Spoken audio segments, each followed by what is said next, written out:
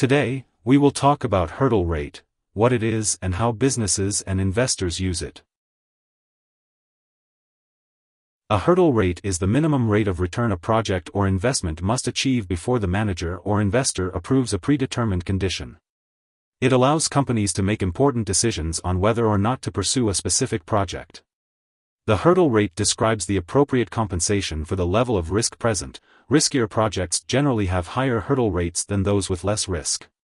The term is often used in private equity investing and hedge fund management. For example, in a private equity investment fund, the general partner is only allowed to charge their performance fees if the limited partner's rate of return is at or above the hurdle rate, which is a predetermined minimum acceptable rate. The most common formula used to calculate a hurdle rate is the weighted average cost of capital.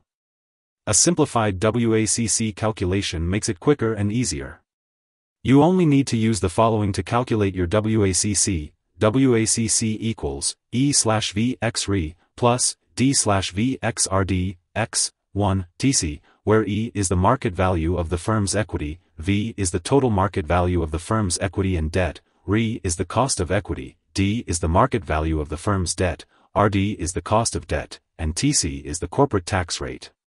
So, assume you have the information in the following table to calculate the WACC. Key takeaways A hurdle rate is the minimum rate of return required on a project or investment. Hurdle rates give companies insight into whether they should pursue a specific project. Riskier projects generally have a higher hurdle rate, while those with lower rates come with lower risk.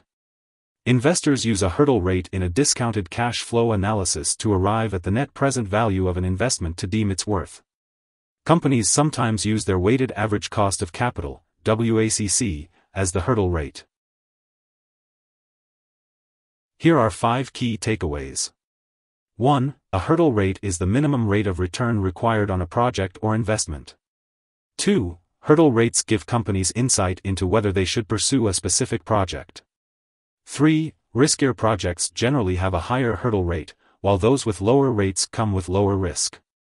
4. Investors use a hurdle rate in a discounted cash flow analysis to arrive at the net present value of an investment to deem its worth. 5. Companies sometimes use their weighted average cost of capital, WACC, as the hurdle rate. Hope this would help, thanks for watching.